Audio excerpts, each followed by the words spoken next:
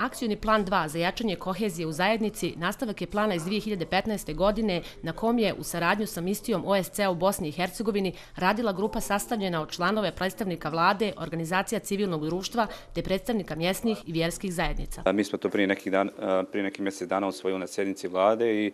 sa određenim zaključkom gdje smo zadužili rukovodioca organa uprave kao i službenika zaduženog za etiku da se izanaliziraju svi zakoni koji tretiraju ovu oblast i da se u dijelu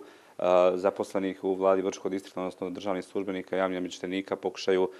urediti ta oblast kako bi evo na neki način ograničili i korištenje društvenih mreža i govor mržnje na tim društvenim mrežama. Plan je prezentovan svim građanima i nosiocima aktivnosti za realizaciju mjera koje su proistekle iz tog plana. Samom izradom akcijonog plana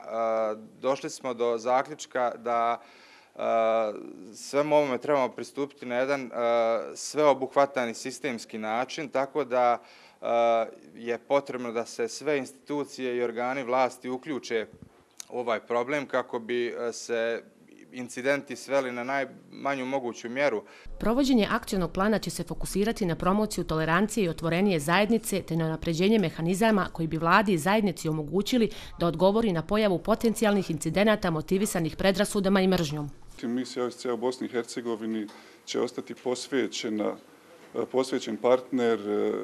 vladi, organizacijama civilnog društva, svim institucijama i građanima Brčkog distrikta u prevenciji i borbi protiv svih oblika predrasuda i mržnje. Opredjeljenje i vlade Brčko distrikta da se o toj temi priča otvoreno i da se kroz dijalog i otvorenu komunikaciju riješi svaki potencijalni problem u lokalnoj zajednici.